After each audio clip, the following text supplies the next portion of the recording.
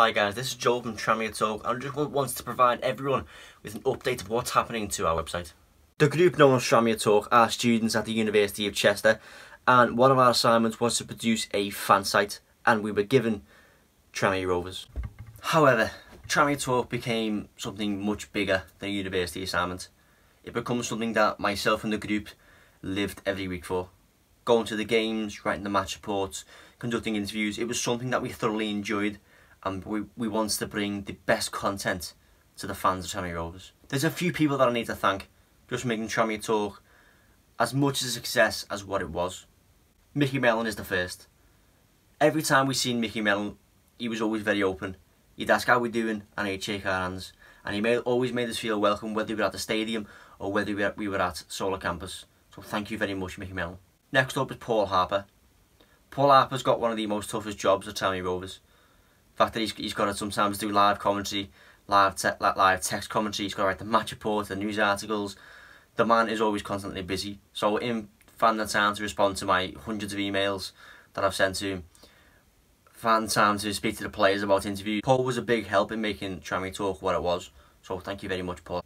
Uh, Greg Clayton was was a big help in getting Tranmere Talk the, the views that, that we sometimes weren't getting he advises on certain things of, of what to do, including tags and such like that, because he's an absolute YouTube expert. And his video was absolutely fantastic. So thank you very much, Greg, for your input. There's some of the players that we need to thank as well, because despite them being 100% focused on the job that they have to do on the pitch, sometimes off the pitch, they interviews are a natural part of it. And some are more open than others, but we just want to give a special thank you to those who helped out and agreed to do interviews and even helped to set up interviews with, with other players. So Ben Tollitt has been has been a massive help throughout the entire year. Ben Tollitt, if you knew him, you never think he was a footballer, purely because of how nice he is. He's got he's the most humble footballer I've ever met. So thank you very much for for um, everything that you've done. James Norwood must be sick of of Tranmere Talk now and pointing out his one on ones, which it was all a bit of a laugh. We know that James Norwood's a fantastic striker and he has no problem scoring one-on-ones.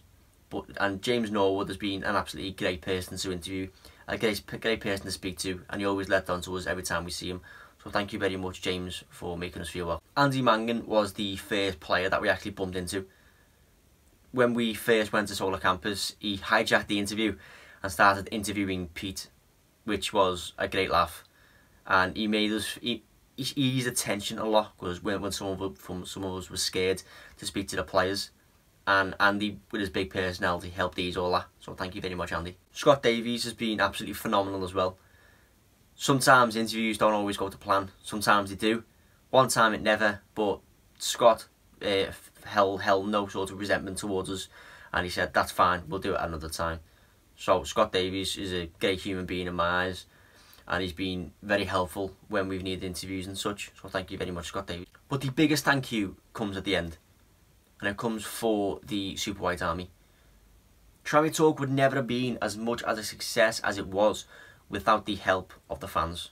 All the comments, likes, shares, and everything else in between has been absolutely phenomenal. Just having a conversation about what Tranmere Talk are doing, just sharing a video, it, it meant the world to us.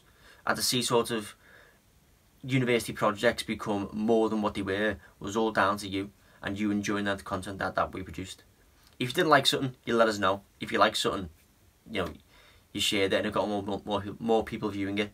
So we thank you very much for that.